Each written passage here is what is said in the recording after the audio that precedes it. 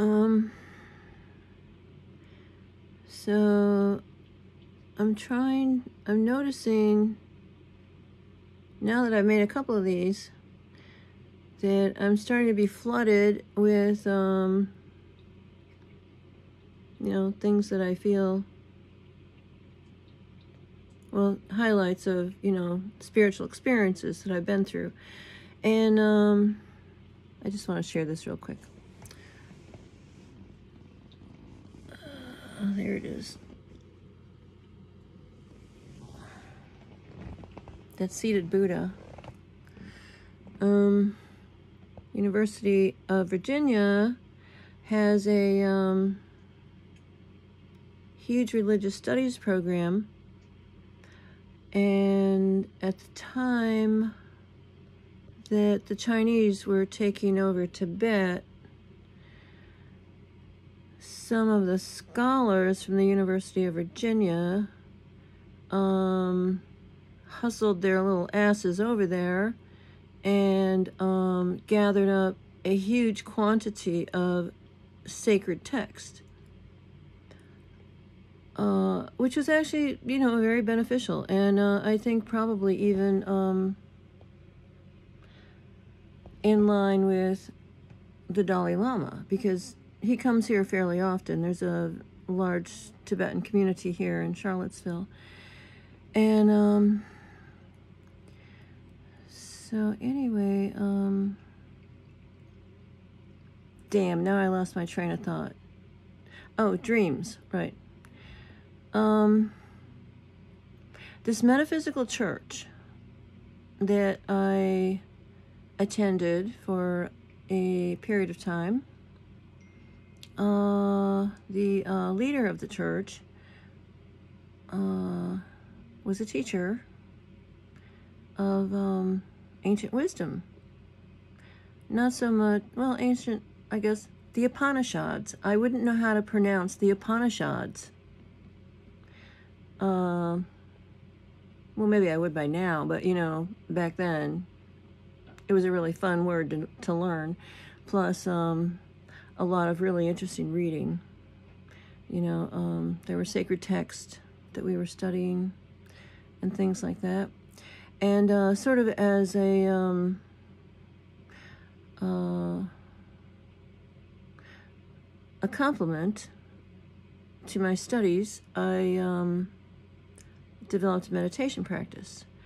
I didn't have to go to um, to the shop to the salon until three in the afternoon, so I worked uh, this shift where people got off work. You know, I mean, that was a busy time coming after work, get your hair done, you know. You don't go in the morning in DC and expect to make any money. So, well, I mean, exceptions that come to my mind. Um, so, um, so anyway, um, so I'm doing the meditations. I um, sat in a uh, straight back chair. Um, uh, and um, there was a piece of music that I found. Um, this was a suggestion um, that I find a piece of music that was, um, I think it was five minutes long. Play that every time you sit down to meditate, and you will automatically go into a meditative state. Pavlov's dogs. So, um, so I did that. From the Yes bookstore, I found a um, beautiful piece of music that you know became my uh, my meditation music. So so I'm doing that. I'm doing the HemiSync tapes from the Monroe Institute. I am uh, studying ancient text um, from learning about yogis and all that. So um, so I have this. Um, I'd have to say prophetic dream. And when you have one of these dreams, you know, you know it's a special dream. You know it's like a very unusual dream. It has a message. You better, well, I mean, you know, if you're smart, you're going to pay attention. I'm, I'm not going to tell anybody you better pay attention because, you know, hey, it's your life. So if you do pay attention to this dream, and I've had several now, um, but this one particular one I'm going to tell you about.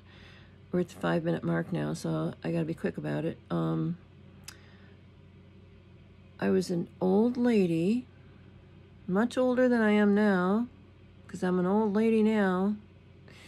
Uh, I was living in a community in a cave.